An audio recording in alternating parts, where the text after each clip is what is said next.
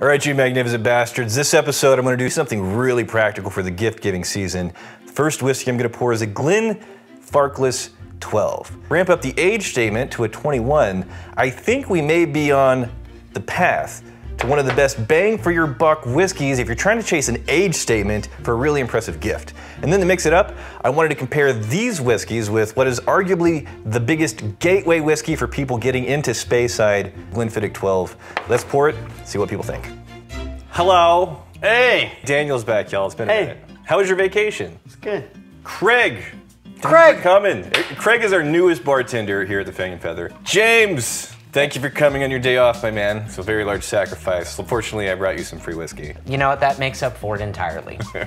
Hello. Hello! It is nice to meet you. Who are you? I, I- don't care. Are You ready to drink? Yep.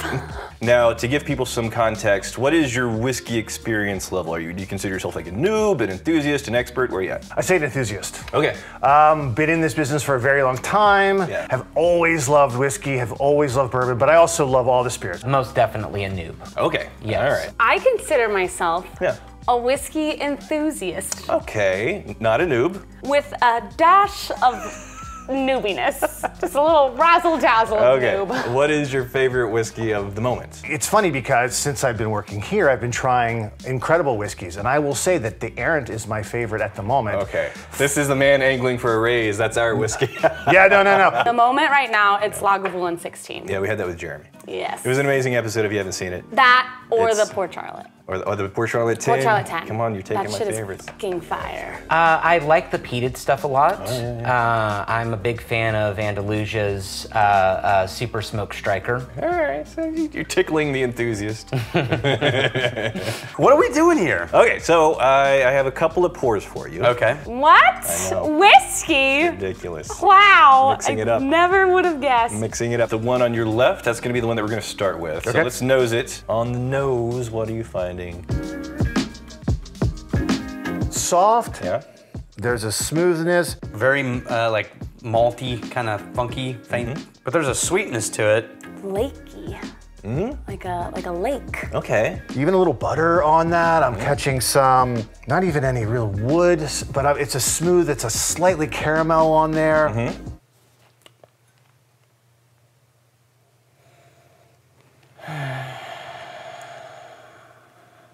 Which reminds me of Arran, that sort of like fruity, Yeah, yeah, yeah. but island, but body, mm-hmm. right? So not fruity, just pure sweetness. It's like light, kind of florally, but not like super flowers. Mm-hmm. It's more like the leafier kind. Like. Okay. a leafier. Yeah. I'm catching some, I don't want to say residual sugar because that's not correct, but Yeah. there's a sweetness, almost a honey to it as Yeah, well. yeah, yeah, absolutely.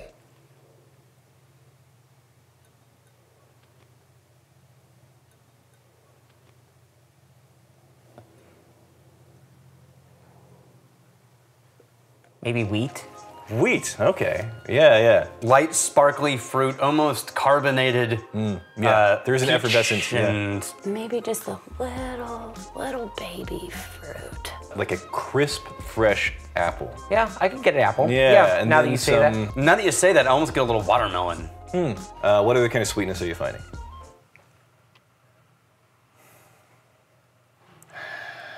Sweetness.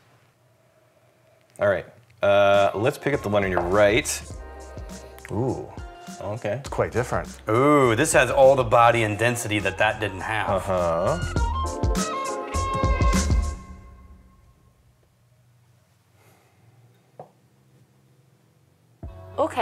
Right is a little sweeter, Mm-hmm. a little more vanilla fruity. I feel like I'm outside a little bit more. I feel like I'm in more of an outdoor um, space. I'm smelling some grass. But otherwise, it's a very similar direction. I might even say they're family members. Uh, either region I don't, I mean, or distillery, but I will like tell you, they are the same region. ah, Yeah. not the same distillery. Well, hold on. Oh, okay. Because the second thing I will tell you is they are the same distillery.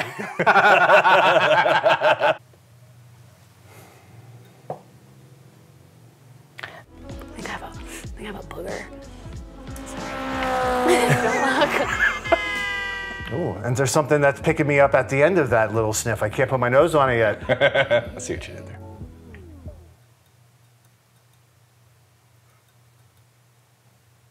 smells kind of car- smells like carnival. I get a caramel. You know those candied apples with caramel on them? Yes. Yeah. Are you finding a brown sugar note?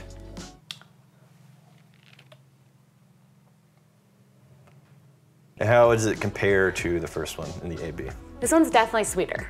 Some earthiness still in there, sim- like a, uh, similar lakey, but not super lakey. You want to know an interesting fact about me? Always. I don't smell that well. Okay. Well, you're doing very well. Just in general, Yeah, right? yeah, like, yeah. So, I'm you're not- definitely finding things in this. Yeah. Oh God, more so than in this one. Way better nose, but that's a good nose. It's not bad. I go get like a like linen, like a Yeah. dryer sheet linens, Fresh, like uh, yeah, that are named like laundry. Spring Valley, Yeah, you know. Yeah, yeah, yeah. That the fresh Yeah. laundry smell. But this has some heft to it. Well, again, the one on the right definitely smells stronger. Mm-hmm. I think I'm getting more of that caramel on the left than I am on the right. Mm-hmm. When I go back to this one, it's more like there's surrounded by forest. It's a lot earthier. Oh, okay, It- so just a lot go- more- At the comparison, there's Yeah. less sweetness in this one. It's very fruity, like uh, but like wine cask fruity. Okay, so let's start with the left. Want Okay. to taste? All right, you want to taste the one on your left? Left, yes. That's okay. you got it.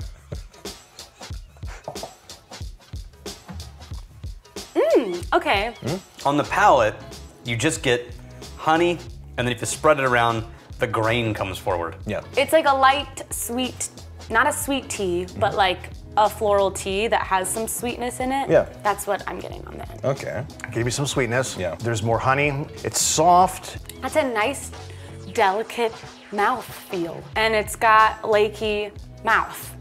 Yeah. lakey mouth.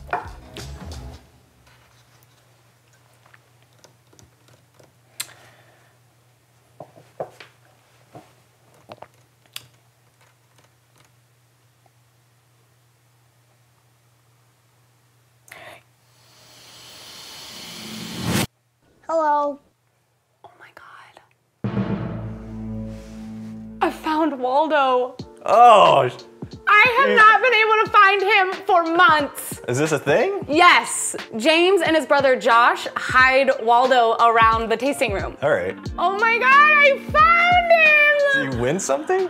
Uh, no. This episode is sponsored by Trade Coffee. So obviously the holidays are upon us. You're looking for the gift or that hard to buy for friend or family member. Yeah, Trade, come on. Trade is a coffee subscription service that makes it super easy for you to explore and get delivered to your door amazing coffees from roasters all over the country. They narrowed it down to the best. They want to send you the best, but they also want to send you stuff that you're most likely to love. We're obviously exploring coffees here in the office. Flavors aren't limited to whiskey. I know, blasphemy. We got the airstrip, that was super good. The atomic, the black velvet, the newest one that just came in. I even know. I even know. We're gonna know. We're gonna find out. Tasting notes of baker's cocoa, nougat, and brown sugar. I know what I'm doing this afternoon. So you want to treat yourself or that coffee lover in your life. You want to go to drinktrade.com slash whiskey tribe. You're gonna get $30 off your subscription. Also free shipping. Don't forget the free shipping. It's great. Free shipping to your door. Coffee Explorers. Good. You know what I'm tasting is like that freshly baked honey bread that you get at restaurants sometimes. Oh yeah. You know what it is? What it's is it? those Texas Roadhouse rolls. Dude, that's it. Yes, Texas Red. It's a chain uh, here in uh, in Texas. Uh, you know, there's other places too. Yeah, like in it's other all states. over the They- country. It's all over the yeah. country. Yeah. I uh, I worked there for three and a half years. okay, so it's a good reference. for Yeah. you. So let's go to the one on your right. Okay. Okay, that's, That's how you cleanse the palate. All right, you want to taste the one on the right? Yeah, let's do it. Here we go. For me, there's there's almost a little candy feel on the sides, a little citrusy, not a bitter note, but more body on the way through. That has way more of that honey.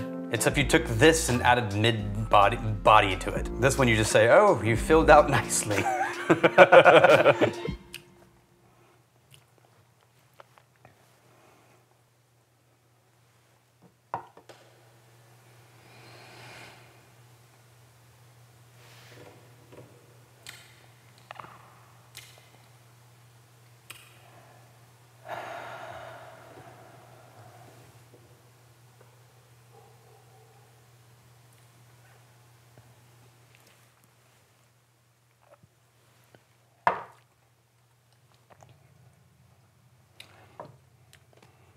Oh, that's nice.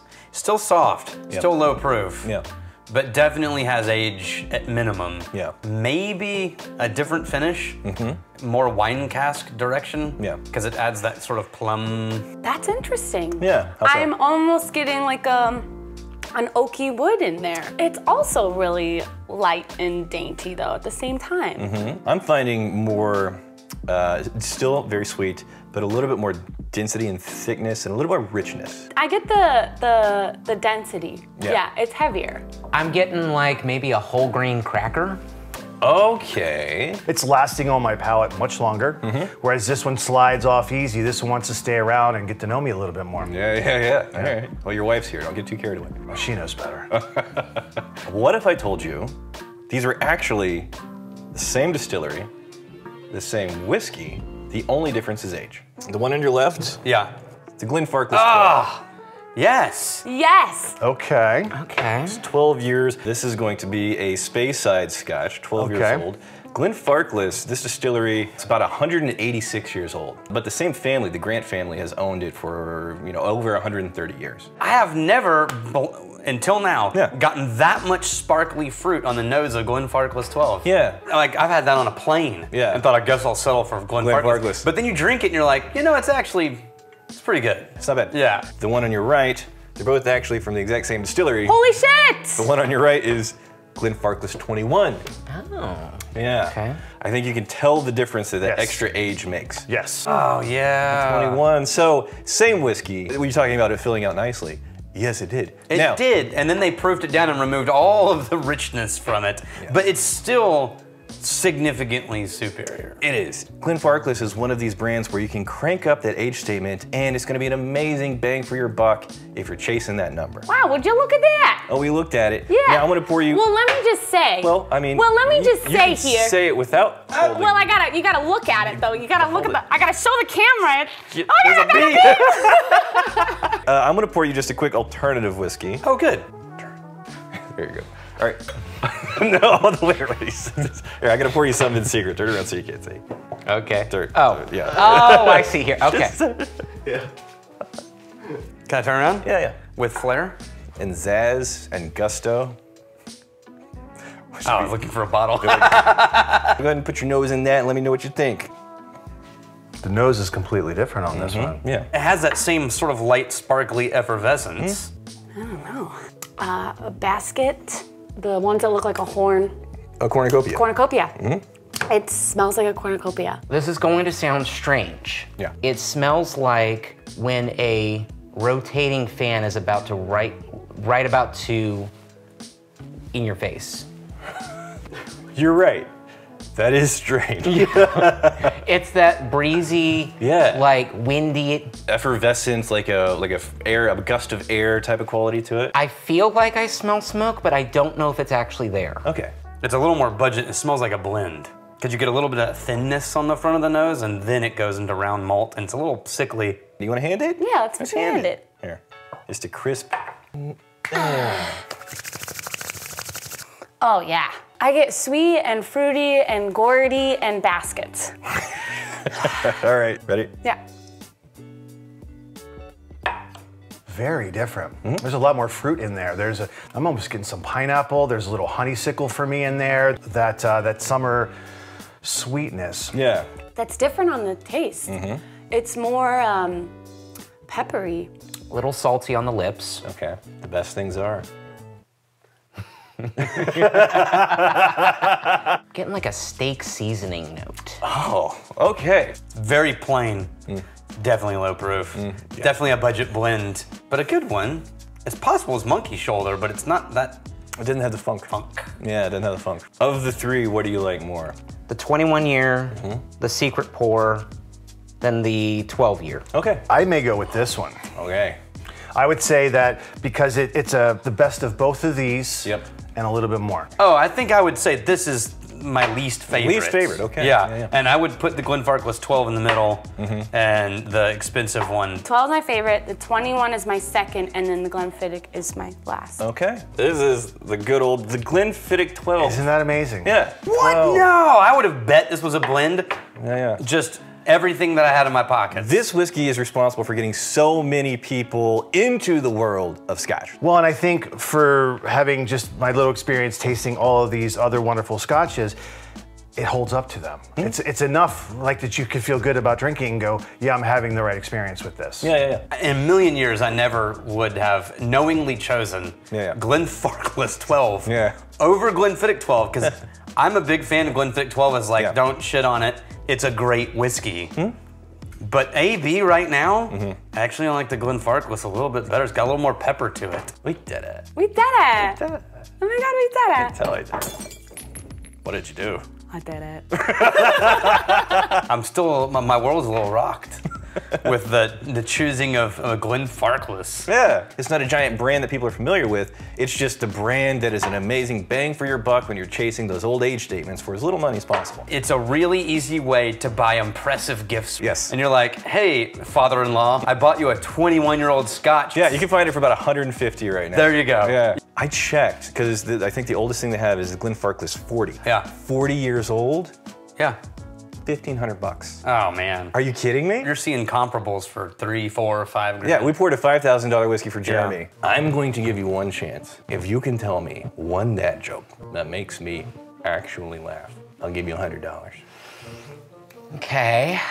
So, uh, when Richard went off to Maine uh, sometime last year, he came back and brought me a pair of socks that had moose on them. And fun fact about moose is that they are amongst the most protective species of their young. And so I know that whenever I put those socks on, that I will be okay because they are going to protect my calves.